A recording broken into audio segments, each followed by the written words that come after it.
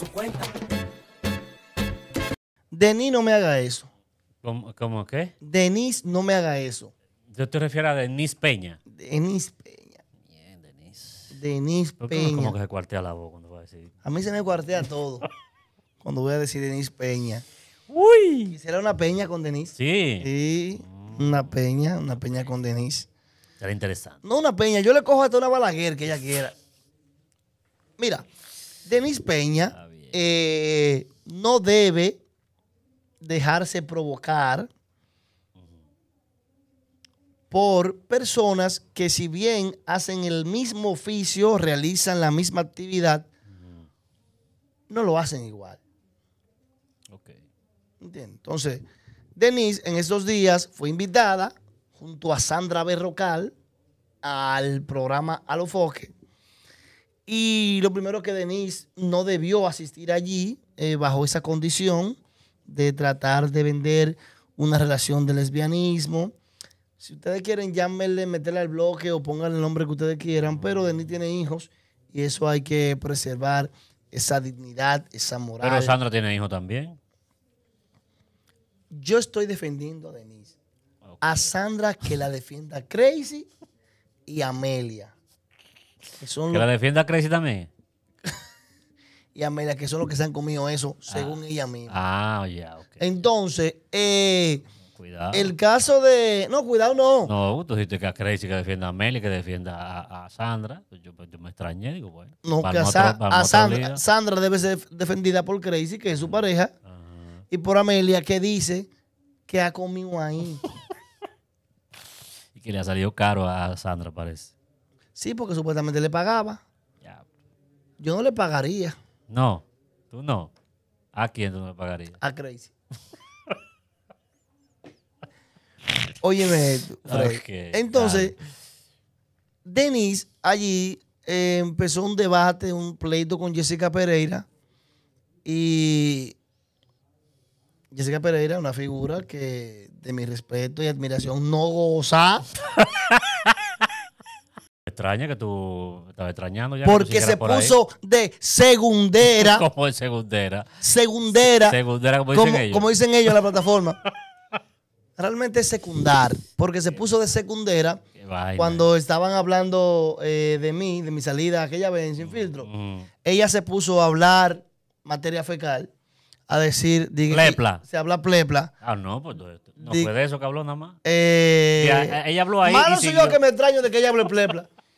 Se puso a decir dije, que... Dije que y ha seguido. Oye, se puso a decir dije, que sí, que yo tengo problemas, conflictos con todo el mundo en Telemicro. Oye, eso.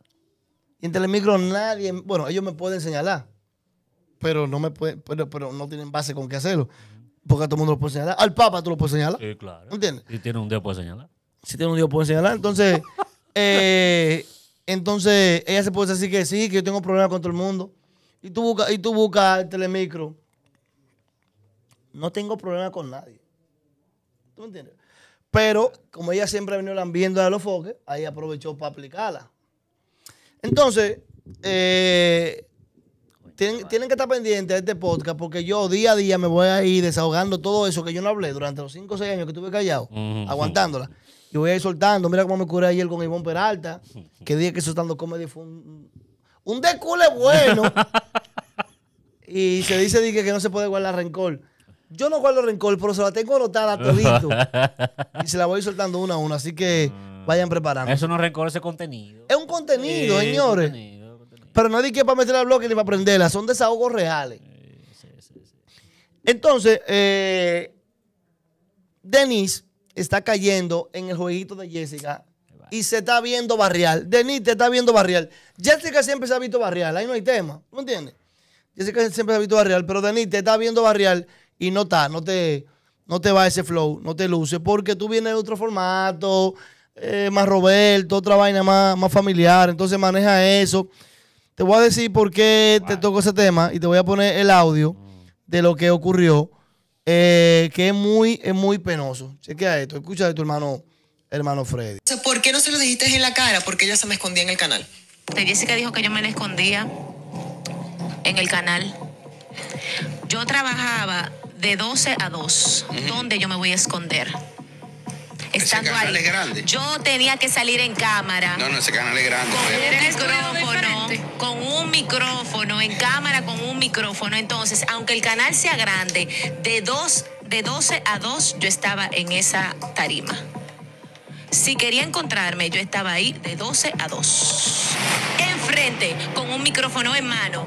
¿En dónde yo me voy a esconder? Jessica sabe que fue a buscar un dinero una vez a mi casa, donde yo vivía. ¿Por qué no se lo dijiste en la cara? Porque ella se me escondía en el canal. Que le prestó un menudo. Entonces, es O bueno, fue, que, a lo mejor se lo dejaron allá con ella también. es bueno que la gente sepa. Ahí a Denise le faltó decirle, aparte de que no te me escondía, y tú sabes dónde yo vivo, tú sabes dónde está esta plataforma, ven que yo no tengo miedo. Porque hay una vaina que hay que dejar clara en este negocio. Oye, esto, Freddy. Si hay gente que no nos podemos ocultar, esconder, somos los que estamos en los medios. Es un lío, sí. Ok, por ejemplo, eh, vamos a decir este video, ¿verdad? Yo dije eso de Jessica. Pon tú que Jessica no esté de acuerdo. Si no está de acuerdo y es inteligente, suelta eso en banda. Si está de acuerdo y, y quiere hacer contenido, me responde. Si está de acuerdo y se quiere poner bruta y me quiere de que mandar marido atrás, yo estoy todos los días en el show de mediodía de 12 a 2. Y estoy toda la noche de 7 a 9 en el canal 4. Exacto. Y este estudio está en, el- en Plaza Naco. Yo no me puedo ocultar. Yo lo que digo aquí, yo lo sustento. Y lo que tenga que enfrentar, lo enfrento. Y si te equivocas, lo reconoce. Y que si me equivoco, lo reconozco. Y tiene que ofrecer disculpas, ofrece disculpas. Y sé que ya. pedir disculpas, Eh, disculpas. ya, y, y uno no tiene que esconderse por eso. Pero no hay que esconderse y ese flow. Aquí hay gente. A, a Denis faltó decirle: No te tengo miedo. Jessica, no te tengo miedo. Te faltó decir esto. Porque como quiera, te ve hablando por asustar. Entonces hay una frase que hace que todos, eh, que hasta los más inteligentes, nos pongamos en posición de vamos a darle. Que la frase es: Esto es para morirse un día. Entonces, por eso yo no tengo miedo. A nadie, a nadie, a nada. Ah, yo lo evito. Que mi mamá no se preocupe, para que mis hermanos que son cristianos Claro, le bajen, para que mi esposa. que evitarlo. Porque los problemas no son buenos. Ahora, no hay miedo a nadie para nada. Eso es importante que se sepa. ¿Tú me entiendes? Tú sabes que nosotros los que hacemos comedia tenemos una desventaja, si se quiere. Ah, Que es que la gente asume, porque tú siempre estás en risa y en chelcha, que tú no eres de nada.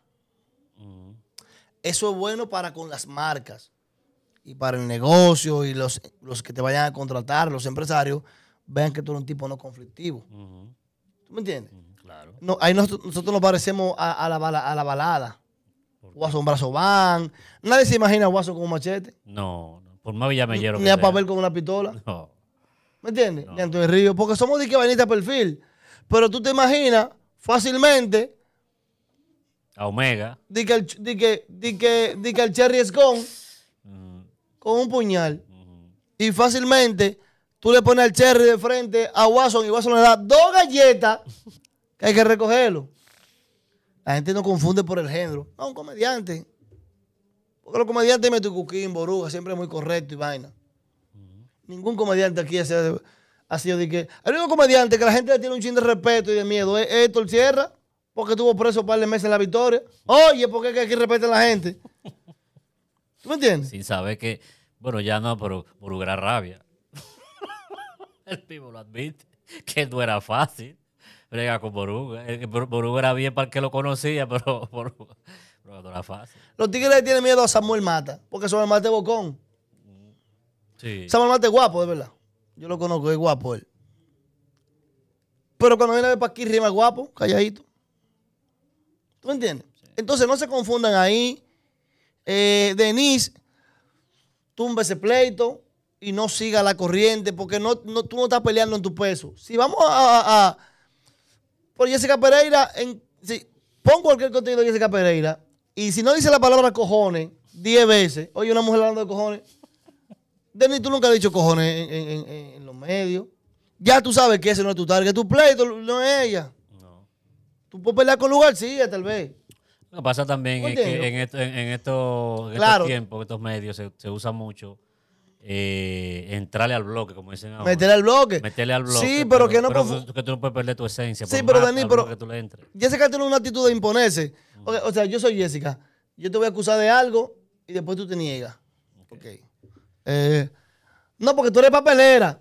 Dime, no, no. No, no. sí, eres papelera. No, no. Pero sí ¿cuándo era la verdad. pero es que Entonces, no- sí era- entonces Jessica cree que tiene la verdad absoluta. Entonces por eso se le impone a un grupo de cobardes que dicen, coño, ¿verdad? Al final termina diciendo, ay, sí, soy papelera. Oye, Porque Jessica lo dice. Ya, y se lo impuso ahí. Jessica lo dijo. no, y tiene, y tiene la actitud, el manejo así. Y la actitud, se, se te planta así. Y asume, porque es bueno asumirlo. Lo asume y ya te convenció a ellos, a los que no leen ni se culturizan. Seguimos. de su cuenta, de su cuenta.